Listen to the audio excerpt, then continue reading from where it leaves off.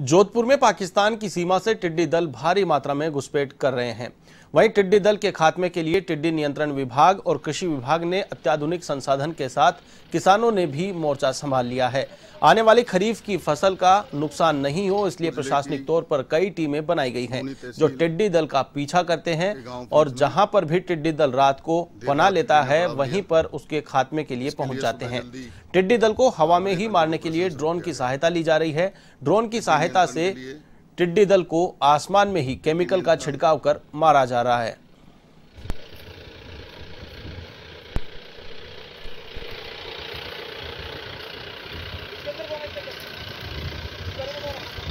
ज़िले की लूनी तहसील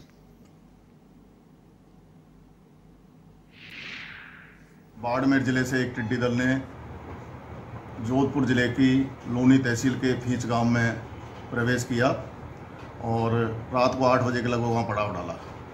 इसके बाद कृषि विभाग और राजस्व विभाग के कार्मिकों द्वारा इसका सर्वे किया गया और जानकारी में आया कि लगभग चार किलोमीटर लंबा, दो किलोमीटर चौड़ा ये दल है। उसी के अनुसार नियंत्रण की कार्रवाई की योजना तैयार की गई। इसके लिए टिड्डी विभाग की चार वाहन फलोदी से मंगाए गए, साथ में एक एक्स्ट्रा सप्लाई वाहन भी मंगाया गया। तीन ड्रोन की व्यवस्था की गई।